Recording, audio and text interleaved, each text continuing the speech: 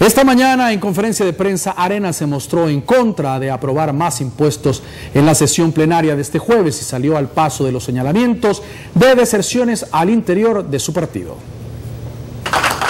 El presidente de Arena, acompañado de los 35 diputados propietarios y suplentes, sentaron su posición en cuanto a la aprobación de nuevos impuestos para financiar el plan de seguridad del gobierno.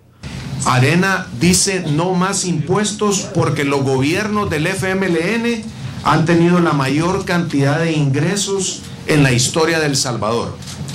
21.167 millones en impuestos hasta agosto del 2015. 5.755 millones en créditos.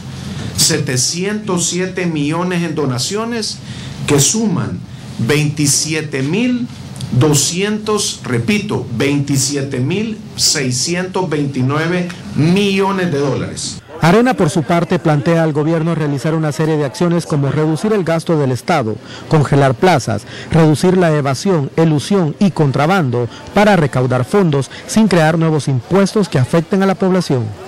Tendría 246 millones adicionales suficientes para financiar los 140 millones que requiere el programa de seguridad y tendría otros 106 millones más que podría destinar a intereses de pensiones o aumentar, por ejemplo, el presupuesto de educación que es tan necesario.